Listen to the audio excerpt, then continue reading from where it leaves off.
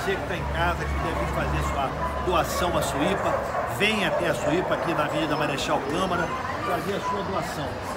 Venha também adotar um animalzinho. O animal sai daqui vacinado, castrado, não tem animal doente, chipado.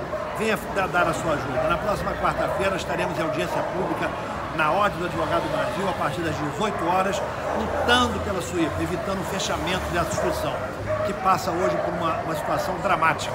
São mais de 100 milhões de reais de dívida, 2.200 animais e o ambulatório fechando. Vai fazer com que as pessoas com menor poder aquisitivo coloquem seus animais na rua, triplicando o número de animais abandonados na cidade do Rio de Janeiro. Isso a gente não pode permitir, nós não vamos permitir de quarta-feira, agora dia 11, às 18 horas na UAB, audiência pública pela Suípa. Gratuito, compareça. Vai transmitir também pelo canal do YouTube da UAB.